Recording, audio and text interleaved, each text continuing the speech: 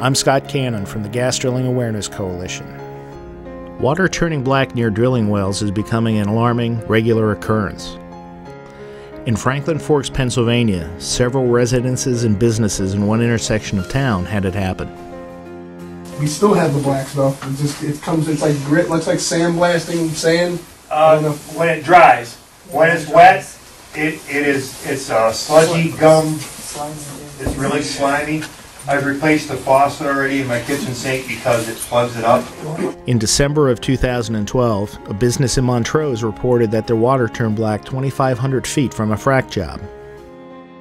This is the story of Max Chilson. His water turned black a year and a half ago.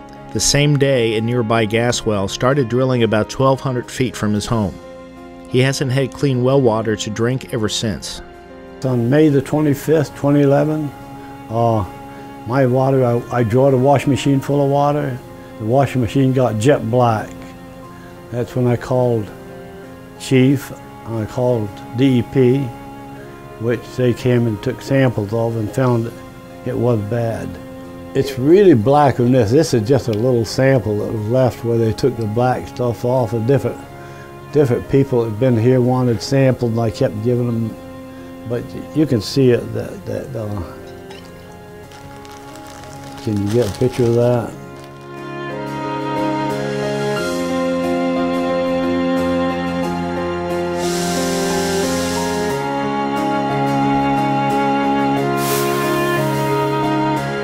this is called the Carrick well and the one the top of the hill 1800 foot up the hill from me is called the Allen well so you have two wells.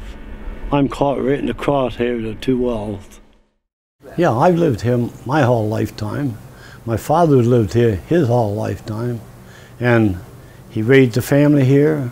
We've never ever had no problem with water. Our water's been excellent.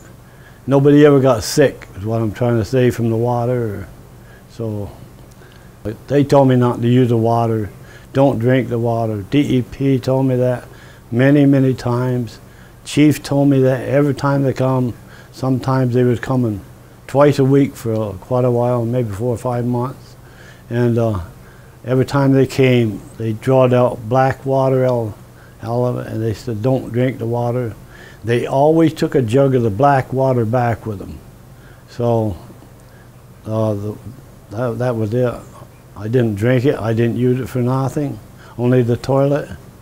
I had, uh, they agreed to haul me all the water I wanted to.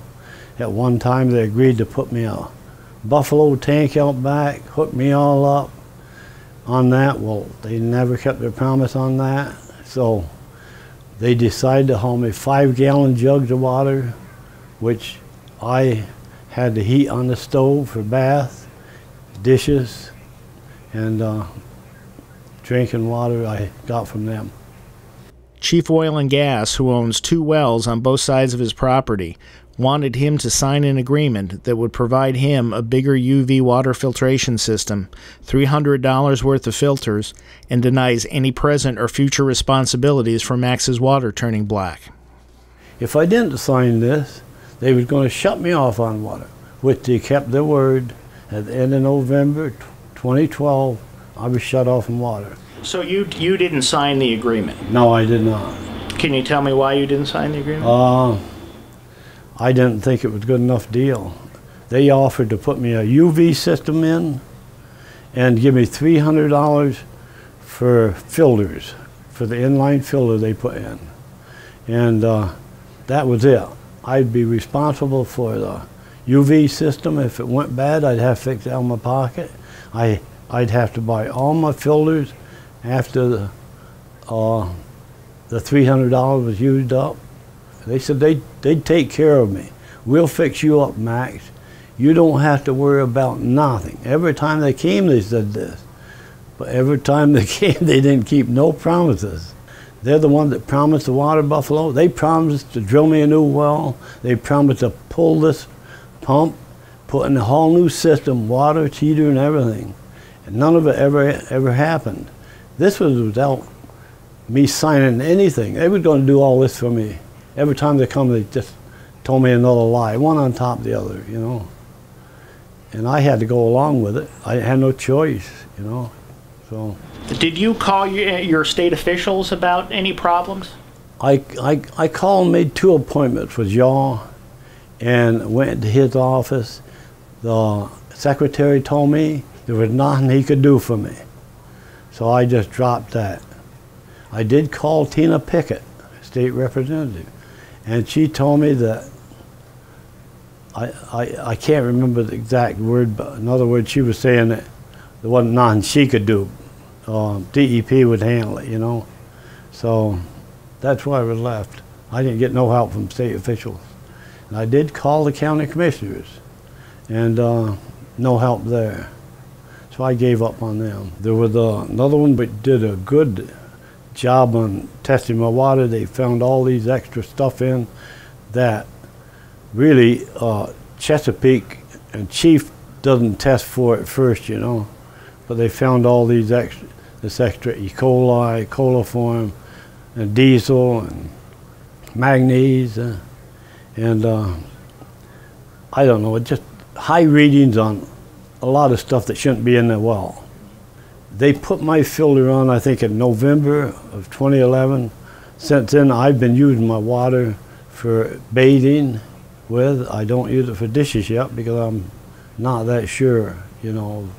But the the filter system uh, that they put on the the inline filter, it does catch most of the black stuff. So I don't know what's in the black solids. They just call it black solids. They don't know what's in it. Chief don't know what's in it.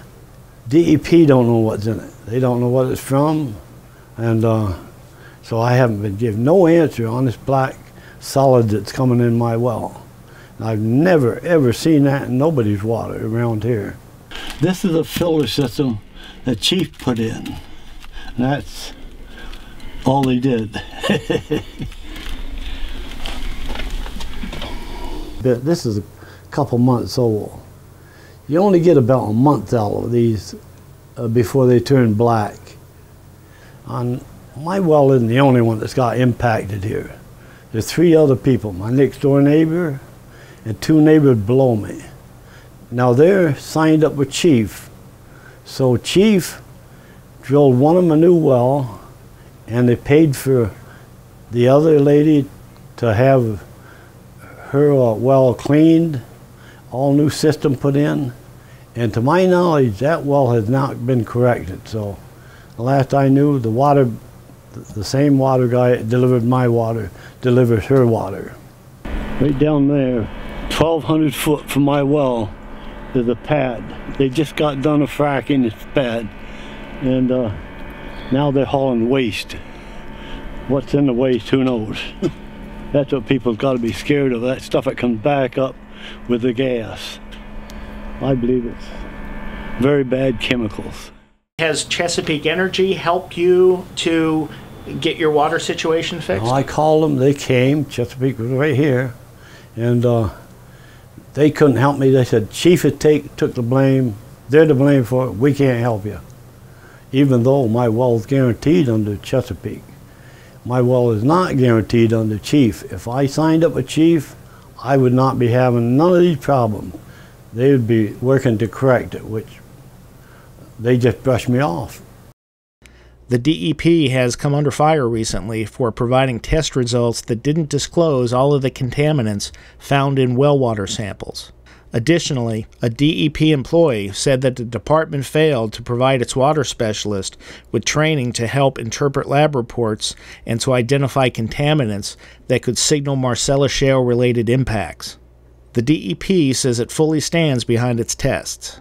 Well, I'm not asking no, none for money. I just want them to fix my well back up the way it was when, before they started drilling.